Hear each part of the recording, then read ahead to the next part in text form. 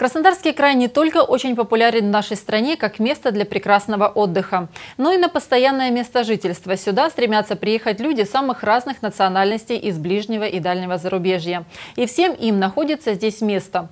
Кубань – это общий и гостеприимный дом для всех своих жителей. И чтобы это всегда было именно так, нужно серьезно работать. Краснодарская краевая общественная организация «Центр национальных культур» был создан еще в 1992 году и объединяет сейчас 32 национально-культурных организации, которые участвуют во всех сферах общественной деятельности города и края. Центр национальных культур провел в нашем городе круглый стол по вопросам социально-культурной адаптации мигрантов на территории Краснодарского края. Участников мероприятия приветствовал заместитель главы Славянского района Александр Заволока. Меняется жизнь, меняется ситуация, значит, и для того, чтобы мы с вами более плотно и более тесно могли между собой взаимодействовать, считаю, что данные вот, круглые столы должны быть э, на территории каждого района.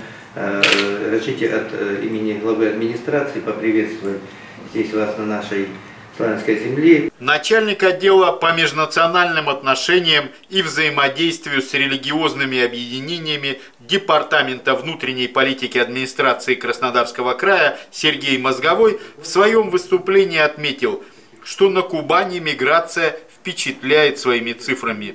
Это миграция внутренняя, внешняя, э, не только из других стран, но и из других регионов Российской Федерации. Из Центрального округа, из Северного Кавказа, из Сибири, Дальнего Востока.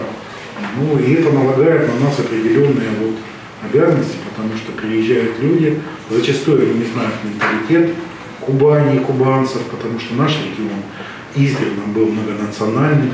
Избежать конфликтов возможно благодаря взвешенной политике и вдумчивой работе по единению всех кубанцев, независимо от их национальности. Наша задача сохранять этот мир и согласие. И э, те люди, которые приезжают сюда, мы должны помогать им здесь адаптироваться в наше общество и э, объяснять, как мы здесь живем, нашему укладу учить, ну и в то же время учить, как нужно жить в мире и согласии. Опытом в сфере гармонизации межнациональных отношений поделились председатели краевых общественных организаций, а также представители обществ, предприятий и всех заинтересованных служб из Славянского района. Им было что рассказать друг другу, ведь национальные особенности не причина для разногласий и тем более конфликтных ситуаций. Межнациональное согласие актуально во все времена – от того, насколько доброжелательны будут друг другу представители разных культур и народов, во многом зависит процветание Кубани в целом.